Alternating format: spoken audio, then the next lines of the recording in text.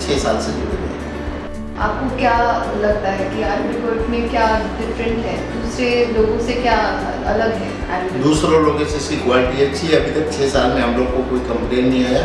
हम और आगे जुड़े रहेंगे। ये जो हम लोगों का जो बीट द फायर कैंपेन है हम लोगों ने शुरू किया है जो फायर सेफ़ सोसाइटी के लिए। और हम लोग का जो फायर वॉल ए जो होता है उसके बारे में आपका क्या राय है? अभी हम लोग के लॉन्च हुआ था वहाँ पंद्रह दिन पहले।